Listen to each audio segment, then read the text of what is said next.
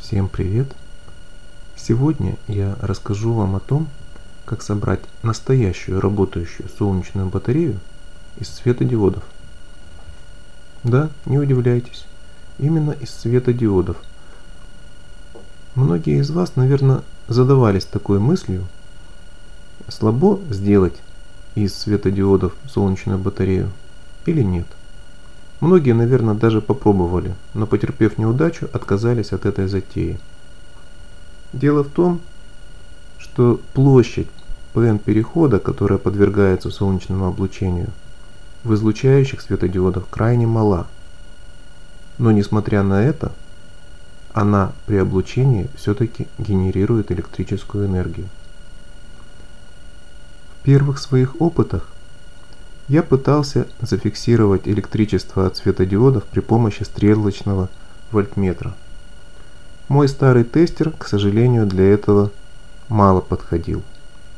Давайте попробуем измерить хоть что-нибудь на вот этих матрицах, которые используются вместо лампочек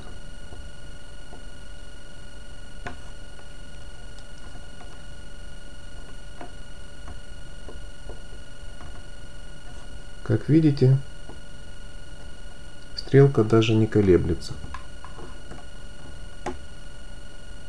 Но на самом деле, на вот этих излучающих матрицах, даже при таком освещении, возникает достаточно большая АДС. Обнаружить ее мы можем, используя более современный вольтметр с цифровым табло.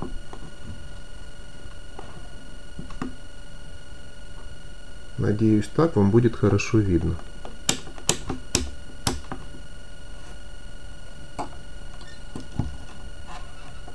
Давайте посмотрим, сколько может сгенерировать при данном освещении светодиодная матрица.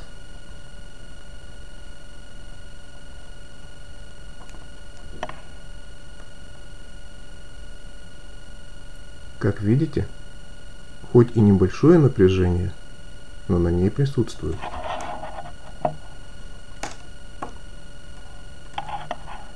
Со второй матрицей мы проведем аналогичный эксперимент.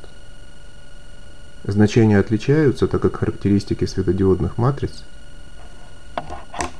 не могут быть одинаковыми. У меня не было достаточно светодиодных матриц на 12 вольт, поэтому я использовал для своих экспериментов одну матрицу из прожектора на 30 вольт. Она дает примерно те же самые значения по генерации EDS.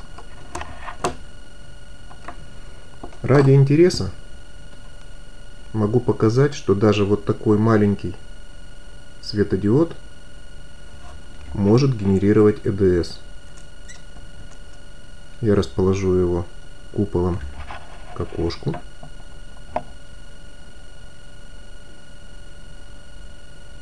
Как видите, EDS есть. Конечно, меньше, чем в матрице, но вполне достаточно для того, чтобы зафиксировать прибором.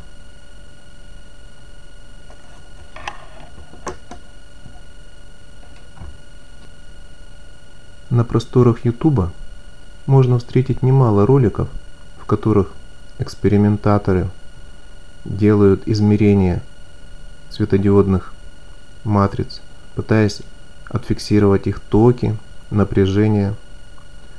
Многие даже пытаются собрать реальную солнечную батарею и приборами показывают, сколько выдает она вольт, милливатт, микроампер. Э, самые популярные каналы часами рассказывают о том, что Светодиодные матрицы в качестве генератора электричества использоваться не могут. Делают измерения, показывают, рассуждают, но не идут далее. Измерить приборами ЭДС светодиодных матриц удалось многим. А вот запитать хотя бы маленький светодиод так, чтобы он светился, пока что не удалось никому. Я решил эту задачу и сегодня я покажу ее вам. Итак, давайте соберем реально работающую солнечную батарею из светодиодных матриц и запустим маленький светодиод. В моем распоряжении две светодиодные матрицы на 12 вольт и одна светодиодная матрица на 32 вольта. К сожалению, одинаковых у меня не было, поэтому использую то, что могу. Все светодиодные матрицы хорошо генерируют ЭДС, но при этом обладают крайне малыми токами. Тем, кто помнит школьный курс физики, наверняка это задача по плечу. Чтобы увеличить ток, надо увеличить количество параллельно соединенных элементов, что мы сейчас и сделаем. Я возьму матрицы и размещу их на кусочки линолеума. При этом соединять я их буду параллельно. Напряжения вполне будет достаточно для того, чтобы засветить светодиод. А вот ток, чтобы поддержать это свечение, мы получим с помощью параллельного соединения. Я прикрутил провода от матриц к проводам светодиода. Разместил его в отражатель, так как свечение будет достаточно малым, и чтобы его зафиксировать на камеру, надо будет приглядеться. А теперь я подключаю дополнительные источники микротока, то есть мои светодиодные матрицы. Если кто не помнит, соединяя последовательно питающие элементы, мы увеличиваем напряжение, соединяя параллельно ток. Напряжение в светодиодных матриц вполне достаточно, а вот ток мизерный. Сейчас я аккуратно раскреплю все это на кусочки линолеума и покажу вам, что произойдет. Итак, наша импровизированная солнечная батарея из светодиодных матриц готова к полевым испытаниям. Освещения в комнате явно недостаточно для того, чтобы наш светодиод начинал светиться. Поэтому я пойду на балкон. Итак, я расположил нашу импровизированную солнечную батарею на солнце. Давайте посмотрим.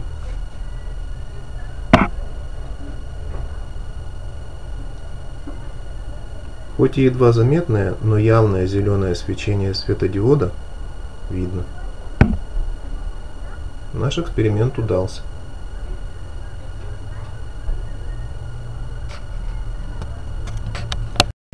Для самых любопытных я сейчас покажу значение EDS, которое выдает солнечная батарея под прямыми лучами солнца.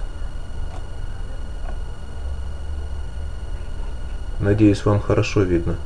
Это почти 5 вольт.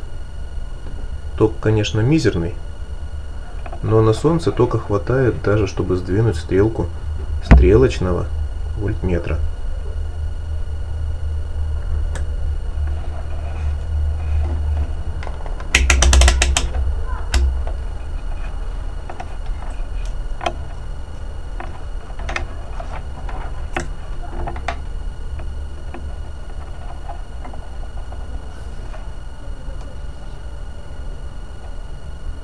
Вот значение тока. Этого вполне достаточно, чтобы зеленый светодиод не ярко, но все-таки светился.